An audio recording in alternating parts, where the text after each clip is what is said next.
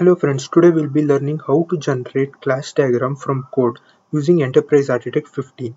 So basically this is form of an uh, reverse code engineering where you have the code maybe like legacy code or uh, so codes which are copied from internet and you want to try to understand it by seeing their class diagram. This can be easily generated using Enterprise Architect. So in uh, I'll be using Enterprise Architect 15 which is the latest version. It is uh, slightly different from the previous version we'll learn how to do it in this uh, version. So this is basically the enterprise uh, uh architect 15 uh, open view. Basically you can create a simple uh, you can go here and create a new project and it will basically add a model here. So once you go into the model you can right click and add a modeling add the model using wizard. This is an easier way to add the model.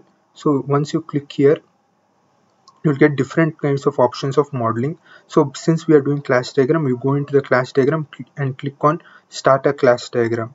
This one is easier and click on create patterns.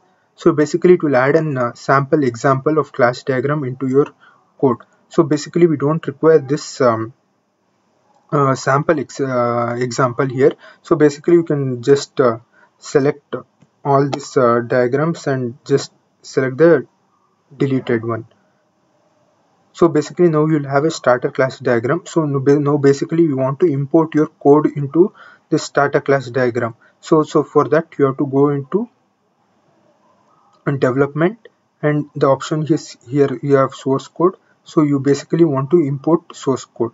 So basically i'll be showing an uh, import then you can give import source directory. So basically i'm selecting a uh, simple uh, java example uh, uh example uh, code for this which is basically an observer pattern. So you can even uh, change the option of uh, language here itself. So basically all the .java files will be picked up and you can keep the remaining options default. It is basically to show the public uh, private and the member variables and the member functions in, into the class diagram or not.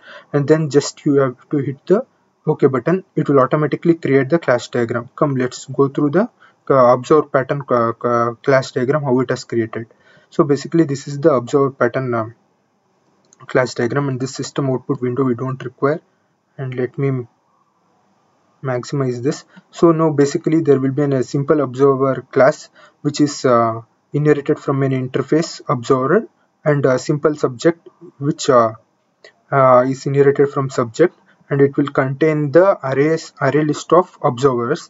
So basically this uh, subject can uh, register for an uh, register the observer or no so basically this is a simple thing. You can uh, understand the observer pattern easily. So it will uh, automatically show you the uh, class diagram here. So this is a nice thing. Uh, hope this helps for you. Thank you